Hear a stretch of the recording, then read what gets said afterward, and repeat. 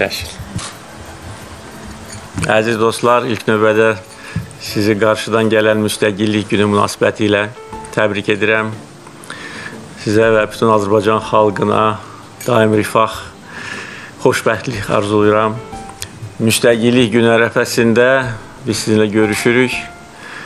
Ağalı kəndində, Dirçələn Ağalı kəndində. Bunun çox böyük rəmzi mənası var.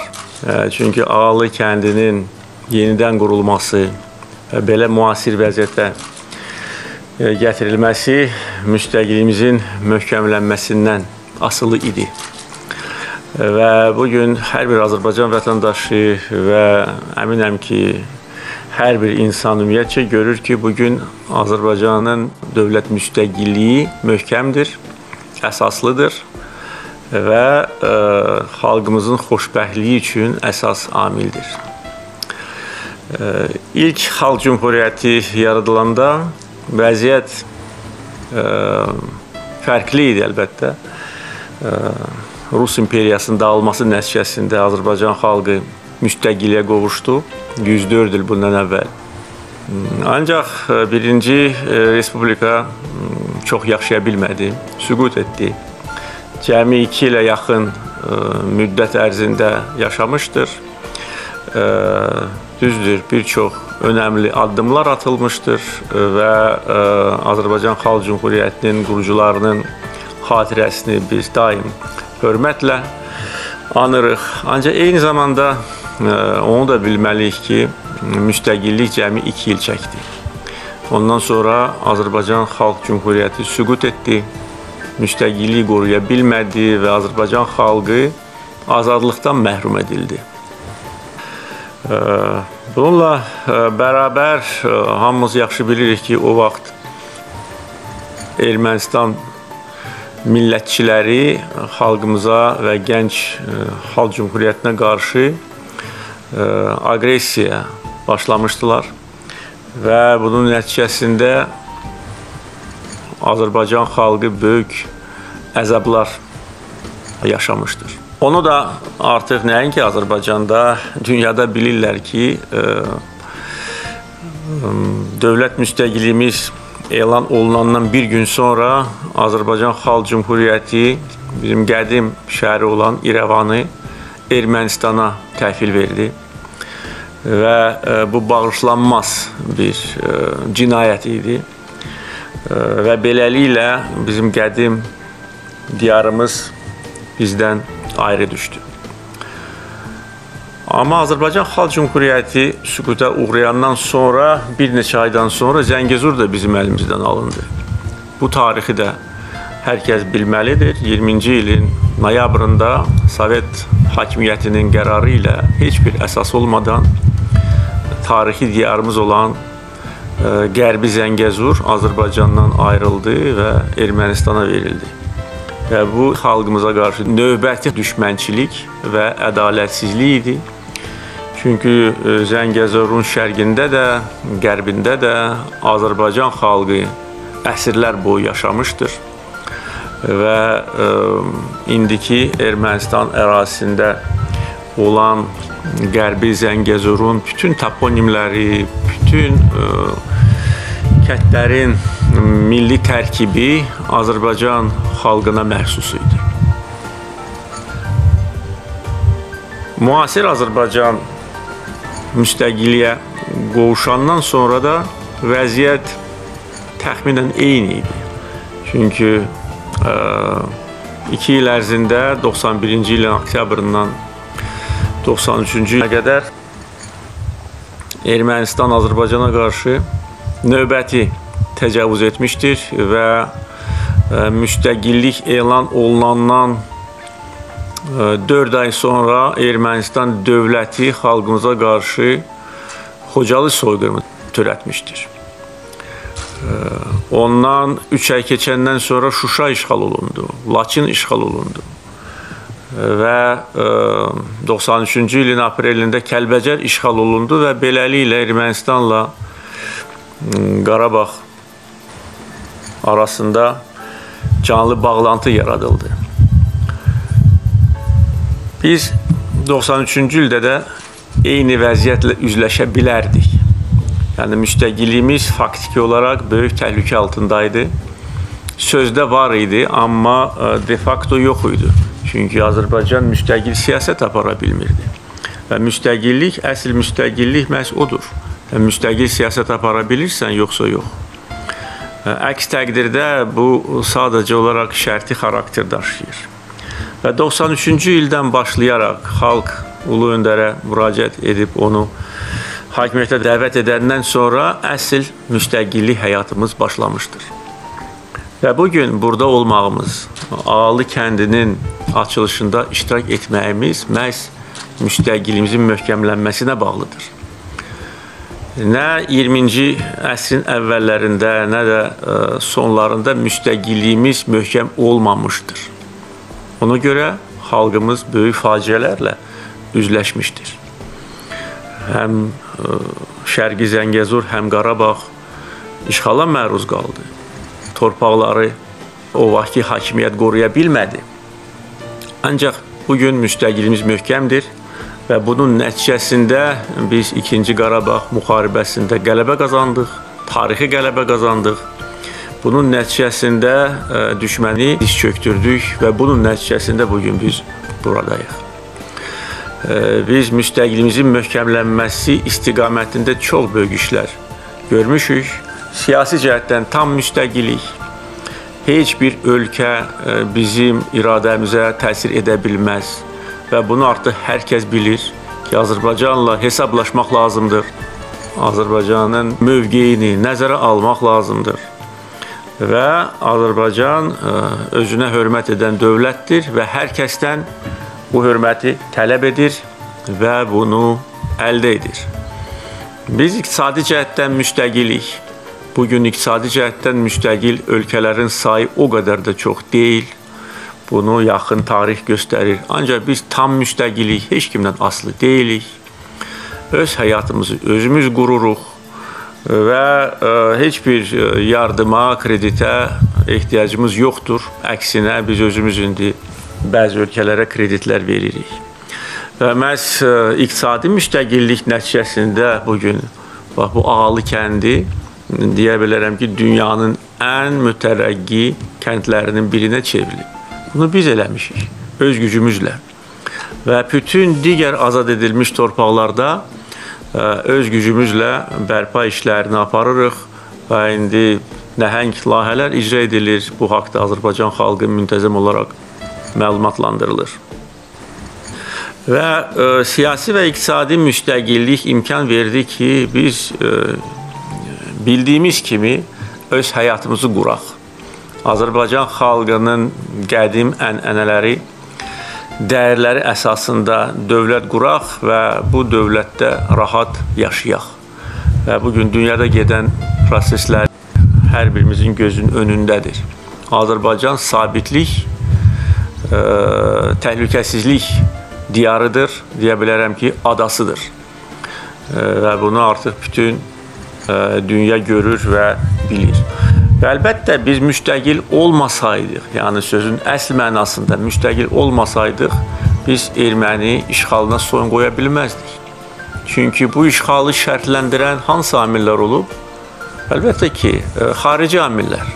Ermənistan özü nə hərbi, nə siyasi, nə iqtisadi cəhətdən hətta orta səviyyəli dövlət sayıla bilməz. İndi Ermənistandakı vəziyyət göz qabağındadır.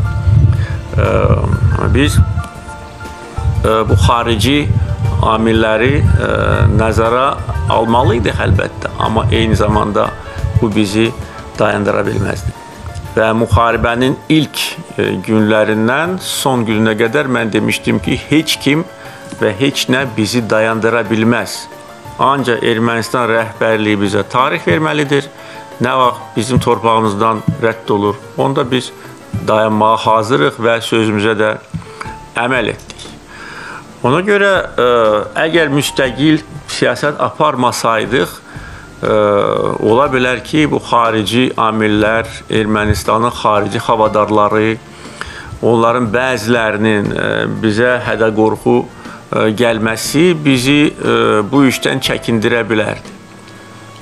ancaq çəkindirmədi. Çünki güclü iradə göstərdik, xalqımız birləşdi və e, bunun da təməlində əlbəttə ki, həmrəylik, milli qürur, ləyaqət və gücdür.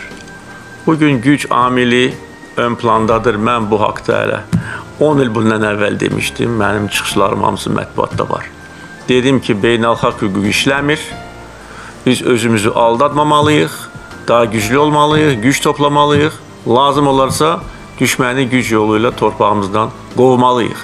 Bunu demişəm də, bunu eləmişəm. Və bundan sonra da güc faktoru, güc amili e, dünyada hakim olacaq. Bunu e, indi yaxın tarixdə göstərir. Ona görə bundan sonra da güclü olmalıyıq və güclü oluruq. Və bu gün iqtisadi göstəricilərimiz çox müsbətdir. Deyə bilərəm ki, dünya miqyasında ən sürətlə inkişaf edən bu ölkələrdən biri Azərbaycandır. Hərbi gücümüzü də artırırıq. Müharibədən sonra yeni silahlı birləşmələri yaradılıb, yeni texnika alınır və bundan sonra da biz bunu edəcəyik. Çünki biz güclü olmasaq istədiyimiz kimi yaşaya bilmərik. Biz istəyirik ki, azad yaşayaq. Biz istəyirik ki, bundan sonra da heç kim bizim işimizə qarışmasın. Buna ehtiyac yoxdur. Biz elə gözəl dövlət qurmuşuq ki, e, bir çoxları buna həsəd apara bilər. Heç kim bizə dərs oxumasın, məsləhət verməsin, öyrətməsin. Buna ehtiyac yoxdur. Və mən prezident kimi hər dəfə bu cəhdləri dəf edəndə xalqa arxalanıram və dövlətimizin gücünə arxalanıram. O cümlədən hərbi və iqtisadi və siyasi gücünə. Və 44 günlük ə, vətən müharibəsi həm xalqımızın gücünü göstərdi, həm mənəvi ə, keyfiyyətlərini göstərdi. Biz dinc əhaliyə qarşı müharibə aparmamışdıq. Ermənilərdən fərqli olaraq biz etnik təmizləmə aparmamışıq. Ermənilərdən fərqli olaraq biz şərkətləri yerlə yeksan etməmişdik. Ermənistandan fərqli olaraq biz Azərbaycanlıyıq, bu bizə yaraşmaz. Bizim təfəkkürümüz, bizim adət ənənələrimiz və dədə-babalardan qalan miras bunu qoymaz. Və bütün dünya bunu gördü ki, Azərbaycanlılar necə məharətlə, peşəkarlıqla, fədakarlıqla və ləyaqətlə vuruşdular. Öz vəzifə borcunu yerinə yetirdilər və ə, Qarabağ münaqişəsinin müharibədən sonra siyasi yollarla həll etdilər. Və biz bu məsələni həll etmişik. Bunu Ermənistan istəsə də, istəməsə də bunu bütün dünya qəbul edir. Biz Dağlıq Qarabağ münaqişəsini həll etmişik. Dağlıq Qarabağ münaqişəsi həll olunub. O ki qaldı Dağlıq Qarabağ inzibati ərazisinə, bu ərazi Azərbaycan ərazisində yoxdur. Və ona görə beynəlxalq qurumların leksikonunda Dağlıq Qarabağ sözü yoxdur.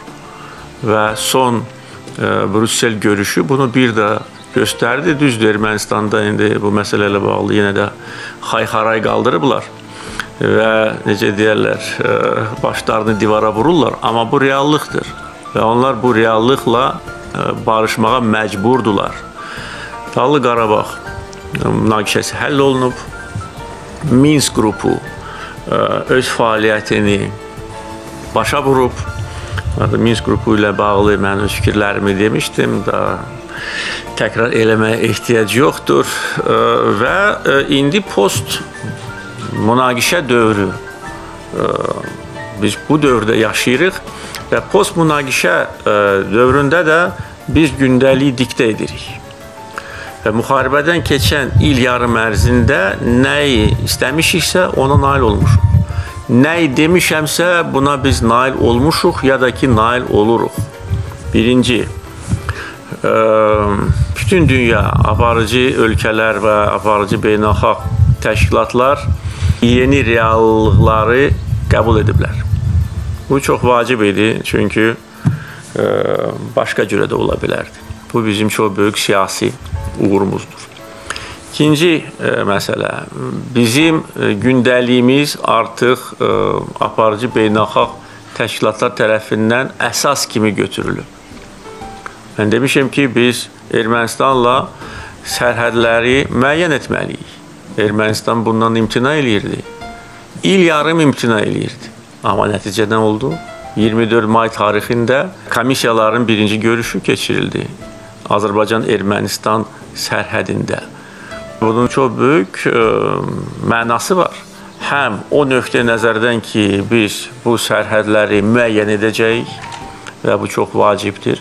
Çünki ə, e, ermənilər o sərhədləri də zəbt etmişlər. Digər tərəfdən bu avtomatik olaraq ə, Ermənistanda revanşist, faşist qüvvələr tərəfindən irəli sürülən ə, Azərbaycana qarşı ərazi iddialarına da rəsmən son qoyur.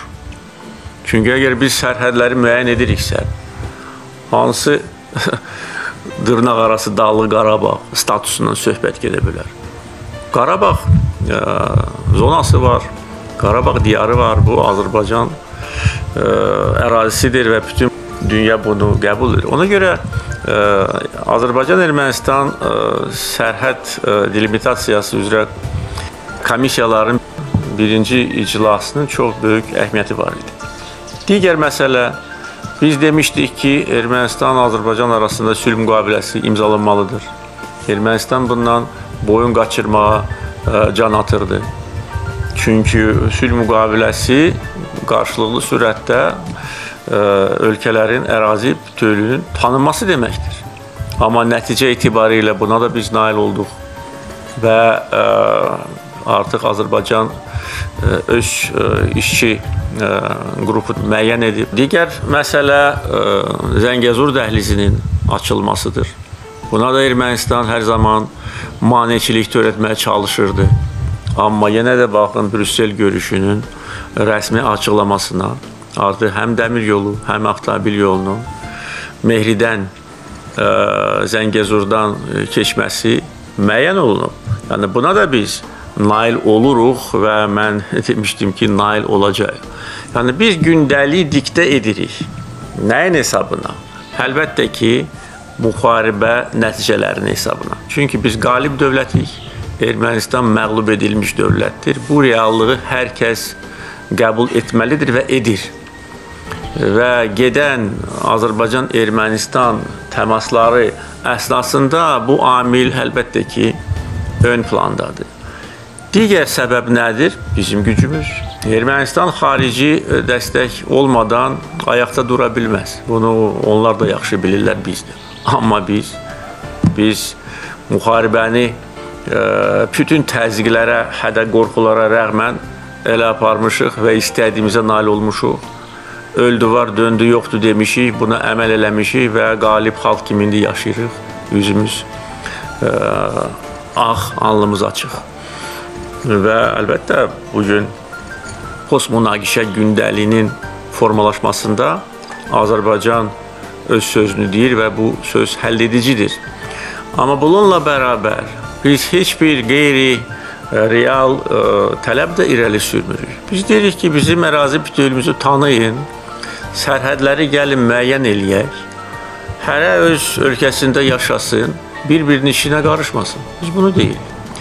Və mənim tərəfimdən irəli sürülmüş sülh müqaviləsi üçün 5 əsas prinsipin mahiyyəti də budur.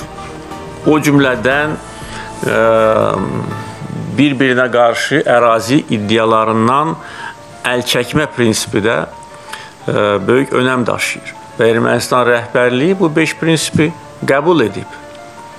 İndi nəsə əlavə etmək istəyir, amma əsas fundamental prinsiplər budur. O ki, qaldı ermənilərin Azərbaycanda yaşamasına, istər Qarabağ bölgəsində, istər başqa yerlərdə, burada heç bir problem yoxdur. Azərbaycan çox ə, millətli, çox konfessiyalı bir ölkədir. Azərbaycanda yaşayan bütün xalqların nümayəndələri rahat yaşayırlar, bütün hüquqlardan istifadə edirlər. Heç vaxt Azərbaycanda milli dini zəmində ayrı seçkilik olmayıb və olmayacaq. Ona görə Azərbaycanda yaşayan ermənilərin hüquqları, təhlükəsizliyi Azərbaycanda yaşayan digər xalqların təhlükəsizliyi, hüquqları qədər önəmlidir. Burada hansısa xüsusi imtiyazdan söhbət gedə bilməz. Bir də ki, dünyada, Avropada ə, təcrübə var. Avropada indi müxtəlif konvensiyalar var. Həm Avropa Şurası ölkələri bu konvensiyalara qoşulublar, həm Avropa İttifaqı ölkələri çərçivəsində qaydalar var və deməli rəsmi sənədlər var. Orada hər şey göstərilib və biz bu ümumbəşəri trend, yəni meyl deməli məcrasında gedirik. Ermənistan əgər hansısa xüsusi tələb irəli sürərsə, bilməlidir ki, bizim də bir çox tələblərimiz ola bilər. Çox da uzaq olmayan məsafədə bizim qədim torpağımız ə, Qərbi Zəngəzurdur. Biz Ermənistana qarşı ərazi iddiası ilə çıxış etmirik ki.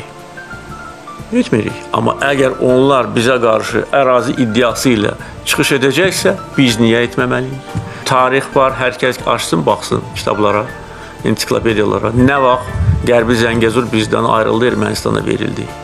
Noyabr 1920-ci il. O ki qaldı ermənilərin Azərbaycanda yaşamasına, bu tarixi də hər kəs yaxşı bilir.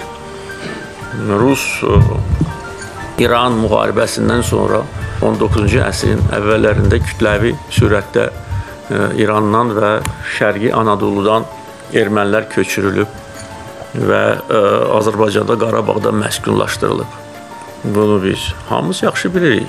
Və o ki qaldı Dağlı Qarabağ Muxtar vilayətinin yaradılmasına 1923-cü ildə. Onun da heç bir əsası yox idi. Bu qanunsuz bir addım idi. Sadəcə olaraq bir saat bombasını Azərbaycanın canına salmaq və istənilən anonu partlatmaq və xalqımızı məhv etmək məqsədi daşıyırdı. Heç bir əsası yox idi orada hansısa bir muxtar vilayət yaradılsın. Özü də Şuşanı da salmışdılar onun içinə. Ona görə mən nə üçün bunu deyirəm? Çünki Ermənistanda faşistlər hələ necə deyirlər, baş qaldırmağa cəhd göstərirlər və onlara elə gəlir ki, əgər onlar hakimiyyətdə olsaydılar, müharibənin nəticələri başqa ola bilərdi. Qətiyyən yox. Onlara elə gəlir ki, əgər onlar hakimiyyətə gəlsələr, nəsə əldə edə bilərlər. Qətiyyən yox. Əksinə, əgər onlar istəmirlər ki, onların başı bir də əzilsin, otursunlar və bu tərəfə heç baxmasınlar. Biz ə, hələ ki səbrlə bu mənzərəni izləyirik, amma hər an, hər an Ermənistan faşistləri də bilsinlər. Bizə hürməyə çalışan faşistlər. Hər an onların dərsini verməyə bir daha hazırıq. Necə ki, 2-ci Qarabağ müharibəsi zamanı. İndi kimdir Ermənistanda meydan sulayan? 2-ci Qarabağ müharibəsi zamanı Qarabağdan dovşan kimi qaçan Sarkisyan Kaçeryan cütlüyü. Onlar əgər belə qəhrəman idilərsə, Niyə qaçmışdılar? Oturaydılar, vuruşaydılar. Hər ikisi Xan kəndində idi. O cümlədən e, onların keçmiş müdafiə naziri. İndi bizi hədələməyə çalışırlar. Niyə qaçmısınız dovşan kimi? Ona görə bunu unutmasınlar. Və ə, e, bizim gücümüzü hər an görüb buna adekvat addım atsınlar. Biz isə bundan sonra müzəffər xalq kimi yaşayacağıq biz 44 gün ərzində ə, e, həm ərazi bütövlüyümüzü bərpa etdik, həm ədaləti bərpa etdik, həm milli ləyaqətimizi bərpa etdik. Və bu gün bax, gözəl Zəngilan torpağında həyat qururuq. Və həyat qayıdır Zəngilana, başqa yerlərə, Şuşaya. Və siz yaxşı bilirsiniz ki, bu bölgənin inkişafı üçün nə qədər böyük işlər görülür. İndi yol boyunca gələn hər bir adam dəmir yolunu görür, avtomobil yolunu görür. Özü də 6 və 4 zolaqlı avtomobil yolu. Hava limanı Zəngilanda tikilir, bu il istifadəyə veriləcək.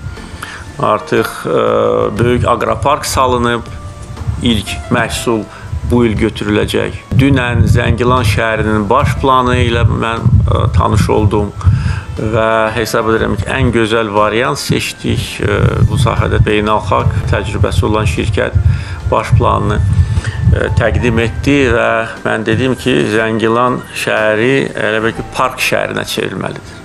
Yəni Zəngilanın təbiəti o qədər gözəldir ki, təbiətə biz bir zərrə ziyan vurmamalıyıq. Əksinə, təbiəti daha da zənginləşdirməliyik, xüsusilə nəzərə alsaq ki, ermənilər Bəsiçay ə, təbii qoruğunu da məhv etmişlər.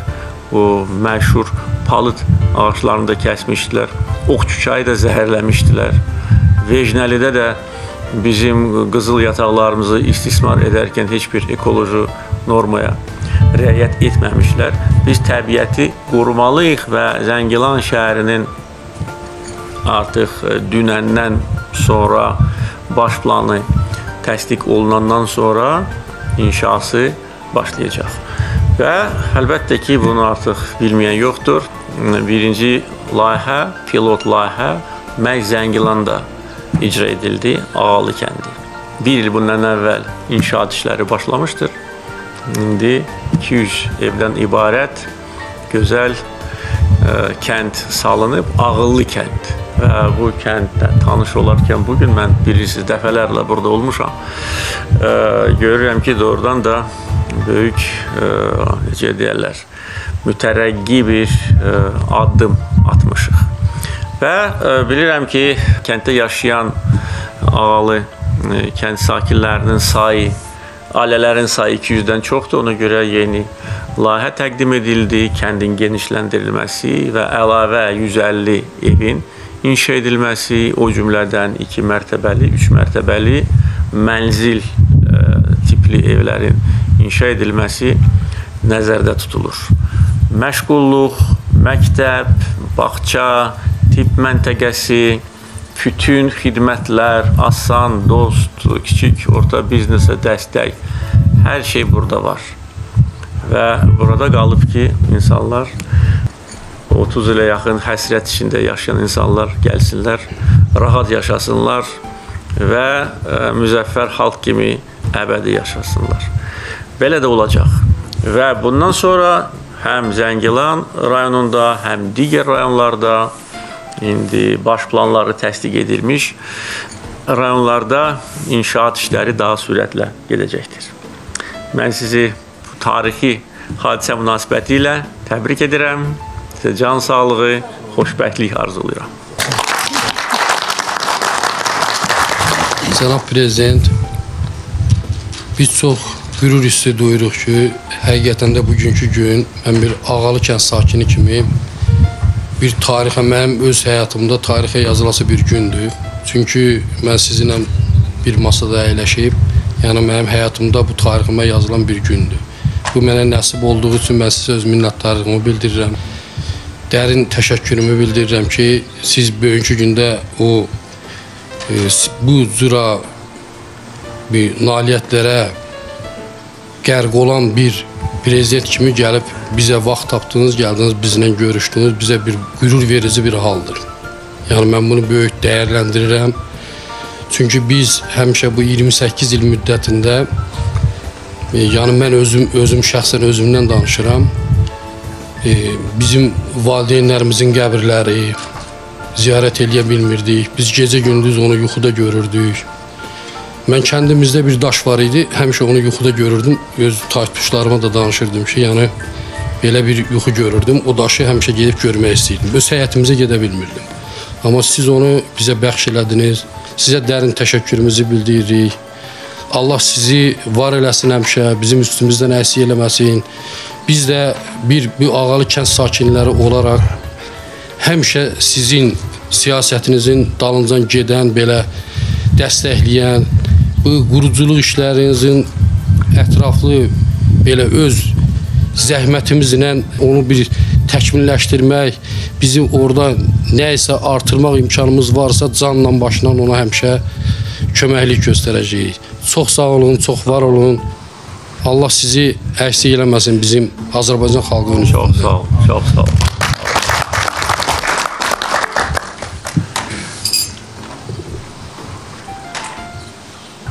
Cənab Prezident, sizi qədim Zəngəzur diyarının ən gözəl güşələrindən biri olan gözəl Zəngilanımızda sizi salamlayırıq.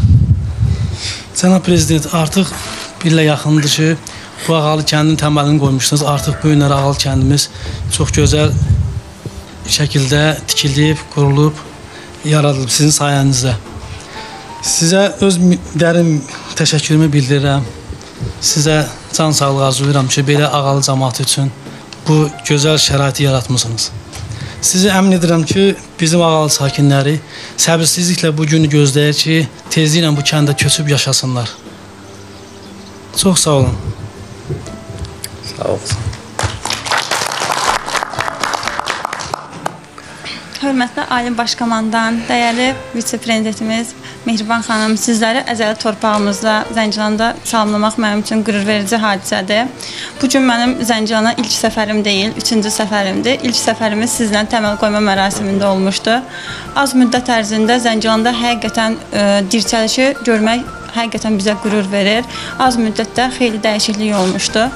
Eyni zamanda biz hər zaman Azərbaycan xalqı olaraq, Zəngilan sakinləri olaraq sizin siyasətinizi dəstəkləyir. Bir yumruq altında hər zaman sizlə birləşirik. Bu gün Zəngilanın ə, Ağıllı kəndin təməlinin qoyulması və Ağıllı kəndin ərsəyə gəlməsi təkcə Azərbaycan Respublikasında ilk deyil, eyni zamanda MDB ölkələrində də ilkdir ki, biz bununla bütün dünyaya sübut elədik ki, biz yoxdan var yaratmışıq. Yəni az müddətdə biz xeyli dirçəliş eləmişik.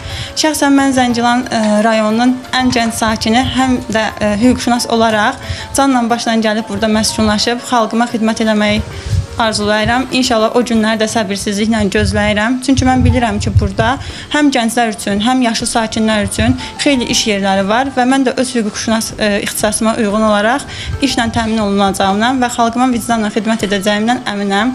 Bir daha sizlərə təşəkkür edirəm. Allah sizləri var edəsin. Biz hər zaman sizinləyik. Sağ olun. Mən çox şadam ki, gənclər də öz dədə-baba yurduna qayıtmağa çox həvəslidirlər. Mən bunu alqışlayıram və 2-ci Qarabağ müharibəsi başa çatandan sonra mən göstəriş vermişdim ki, keçmiş məcburi köçkünlər arasında bir sorğu keçirilsin. Kim qayıtmaq istəyir, kim qayıtmaq istəmir. Çünki bilirsiniz, həyat elə şeydir ki, hər şey ola bilər. 30 il, 27 il ə, Zəngilan məsələn 27 il işğal altındaydı digər ə, şəhər rayonlarımız da bir qədər çox, bir qədər az böyük bir ə, zaman kəsiyi idi. Və elə insanlar var ki, artıq onlar həyat qurublar, hardasa indi işləyirlər, ə, həyatdan da razıdırlar və heç yerə getmək istəmirlər. Şəhərdə yaşayırlar, Bakıda, Sumqayıtda. İndi böyük şəhərdən ə, kiçik şəhərə, kəndə qayıtmaq da o qədər də asan məsələ deyil. Bunu hər kəs anlamalıdır və nəzərə alsaq ki, qayıdış da könüllü olmalıdır. Və biz elə şərait yaratmalıyıq ki, hər kəs istəsin, qayıtsın. Ona görə dedim ki, sorğu keçirək və baxaq özümüz üçün, çünki biz böyük indi işlərə start veririk. Yaşayış evləri, məktəblər, xəstəxanalar, bütün bunlar hesablanmalıdır nə qədər adam yaşayacaq. Çünki böyük məsrəfdir. Və ə, məlumat mənə verildi ki, ə, məcburi köçkünlərin mütləq əksəriyyəti qayıtmaq istəyirlər. Bu məni çox sevindirdi. Mən belə də təxmin edirdim. Və bir də göstərdi ki, nə qədər xalqımız öz ə, ulu babalarının yurduna bağlıdır. Hətta Zəngilanı görməyənlər Zəngilanda yaşamaq istəyirlər. Necə ki, Vətən müharibəsində Qarabağı heç vaxt görməyənlər Qarabağ uğrunda ölümə getməyə hazır idilər və ölümə də getmişdilər. 3000-ə yaxın ə, şəhərlərimizin ə, xatirəsi əbədi bizim qəlbimizdə olacaq. Allah bütün şəhərlərimizə rəhmət eləsin. Və ə, ancaq insanların qayıdışı üçün şərait olmalıdır. Və birinci layihəni biz icra etdik, bunu təqdim etdik. Həm ağalı ə, kənd sakinlərinə, həm bütün Azərbaycana və bizim gələcək planlarımız da belədir. İndi birinci mərhələdə hər rayonda bir çox kəndlər seçilib ki, orada işlər aparılacaq ilk növbədə. Ondan sonra insanlar qayıtdıqca əlbəttə ki, bütün ə, qalan yerləri də biz bərpa edəcəyik.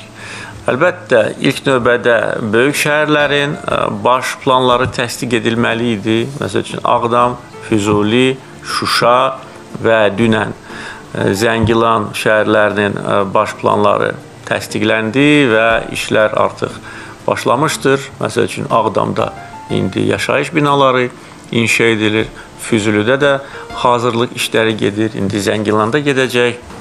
Yəni bu böyük bir prosesdir və onu da bildirməliyəm ki, e, biz e, bu işi dövlət büdcəsi hesabına eləyirik. Heç bir yerdən heç bir yardım almamışıq, heç bir kredit almamışıq, heç bir iyanə yaxud da ki bir hədiyyə almamışıq. Öz gücümüzə arxalanırıq. Necə ki həmişə belə yaşamışıq, e, gücümüz qədər nailiyyətlər də əldə etmişik. Və e, bu ildə e, investisiya proqramı təsdiq olunub və investisiya proqramına əlavələr də ediləcək. Mən bunu bu gün e, bəyan etmək istəyirəm. Dövlət büdcəsinə biz əlavələr etməliyik. Çünki iqtisadi göstəricilər daha yaxşıdır. Gəlirlərimiz nəzərdə tutulandan daha çoxdur. Ona görə biz bu əlavə gəlirləri və iqtisadi imkanlarımızı səfərbər etməliyik ki, vaxt itirmədən azad edilmiş torpaqlarda daha böyük həcmdə iş görək. İndi hökumətə tapşırılıb, yəqin ki, yaxın gələcəkdə e, Milli Məclis bu məsələyə baxacaq ki, biz daha çox vəsait ayıraq. Və mən demişəm, nə qədər iqtisadiyyatımız güclü inkişaf edərsə, o qədər tez biz bütün azad edilmiş əraziləri bərpa edəcək. Ancaq hər kəs bilməlidir ki, bu asan məsələ deyil.